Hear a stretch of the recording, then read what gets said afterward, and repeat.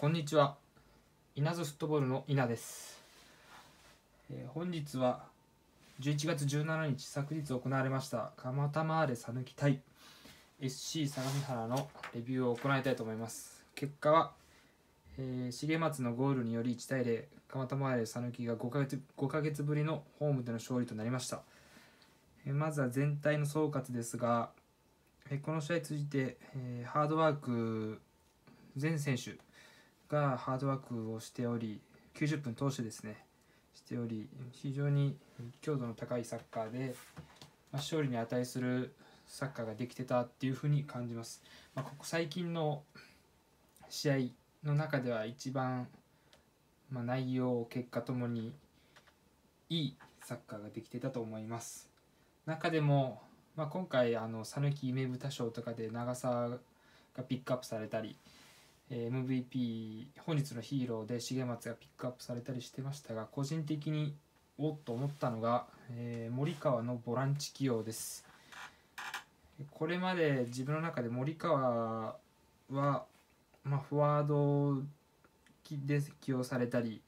サイドハーフだったり、まあ、1試合か1試合半かサイドバックでの起用とかもありましたけどまあいまいちしっくりきてないというかもちろん運動量はあるんですが、基礎技術というかボールを扱うところ1対1で相手を剥がしたり、えーシュートを持っていくとそういうところで物足りなさを感じていました。が、えーこの試合についてはボランチで、えー赤星のサポートというか周りの球を拾うというか、まあ、いい良すぎる例で言うとカンテのような、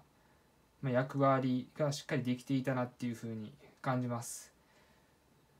まあそこが今回の試合で一番いい意味でのサプライズでしたね。今ボランチとか本当に人手不足だと思うんですけど、まあ、あと3試合ですが、まあ、これはこれでありだなとこれも来年につなげていいいいなんていうんですかね。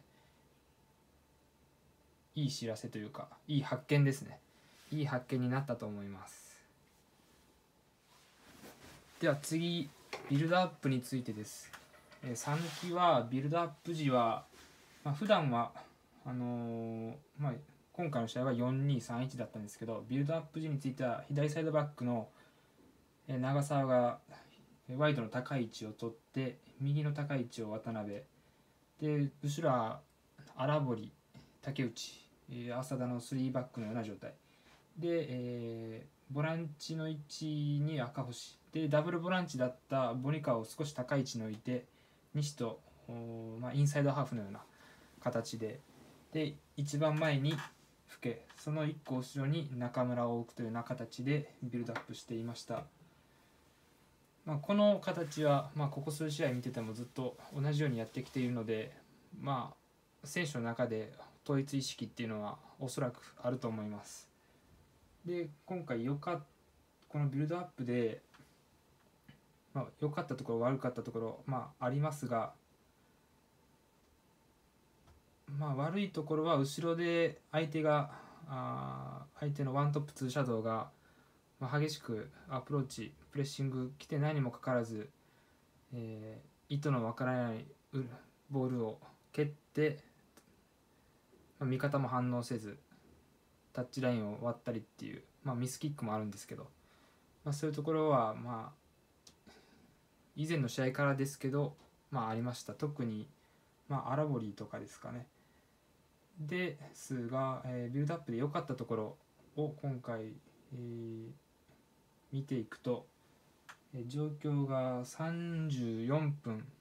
40秒過ぎからになります。こちらがその時の状況です、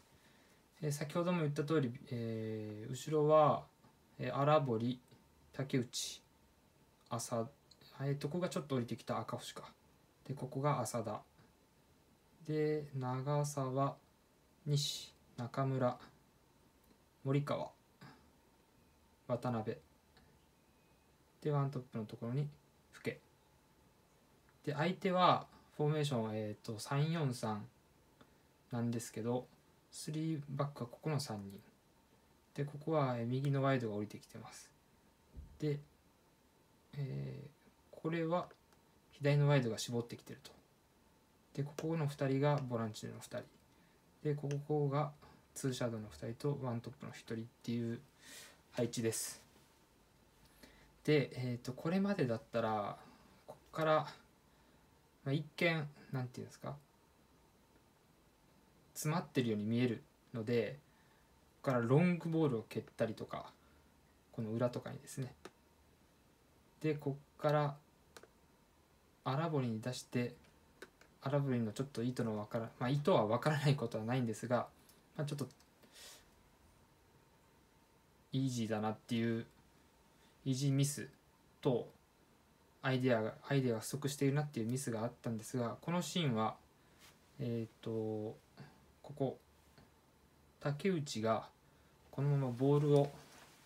前に運んでいきます。これ良かったと思います。というのも相手ワントップツーシャドウなんですが讃岐、えー、の後ろでボールを持った時にそこまで激しく、えー、プレッシングには来ていません。なので竹内はここ、えー、上がっていくわけですね。少しずつ。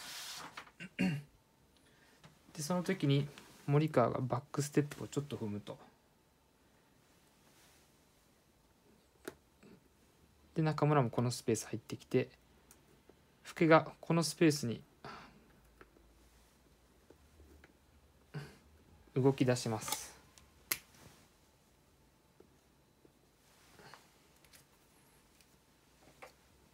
で竹内はここからパスを出しますが相手にここでカットされます。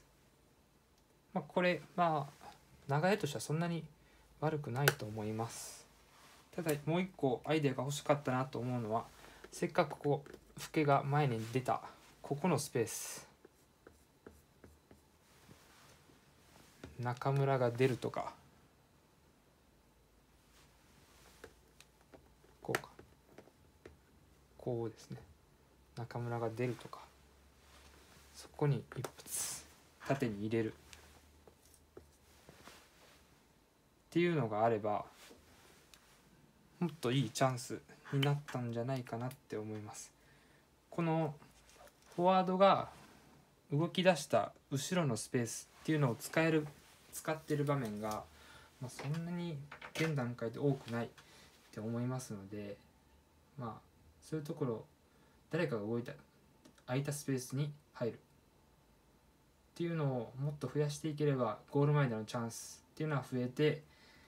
えー、ボックス内に侵入できる回数も増えてゴールチャンスも増えると個人的には思います。まあビルドアップ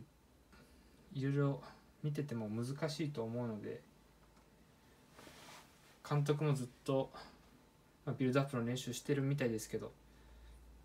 まあもう少し早い段階で完成度を高めてほしかったなっていうのはあります。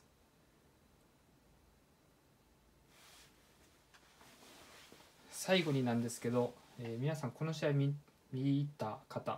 まあ、蒲田前のサポーターの方は最初スタメンが発表された時にまあどのように思われたでしょうか。自分は、まあ、現地に行ってたんですけどスタメン発表された時にあどんな配置なんかなって正直思いました。誰がまあ、トップで誰がサイドハーフで誰がインサイドハーフするんかな。フォーメーションは4141それとも4231とかいろいろ考えました。で自分はもうこれまで今シーズンほぼ全試合、まあ、ダゾンなり現地で観戦して見てきましたがその自分でもまあ悩むというかこれだっていうのを持ってない中でおそらく相手のチームスタッフ監督選手も、まあ、事前に研究してるとは思いますが戸惑った部分もあるんじゃないかなと思います、まあ、ツイッターなんか見てるといまだにスタメンが固定されてないからどうのこうのとかあり書いてる人もいましたけど、まあ、スタメンなんてまあ別に固定するもんじゃないし毎試合毎試合コンディションだったり相手によってまあ、選手なんて変わってくるもんなんで今回非常に非常にというかある意味まあ嬉しい誤算というか、まあ、誰が来るか誰が出るかあどんなシステムになるのか予想がつかないっていうのは、まあ、ある意味相手にとって嫌な部分になっているのかなっていうふうに感じました。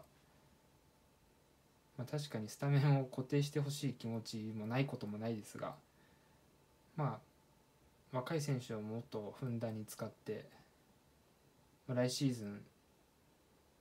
もう J3 が確定してますんでそれ見据えて戦っていってほしいなっていうふうに思います。では残り3試合ですが、まあ、一つでも順位上げられるように応援して頑張ってもらいましょう。以上です。ありがとうございました。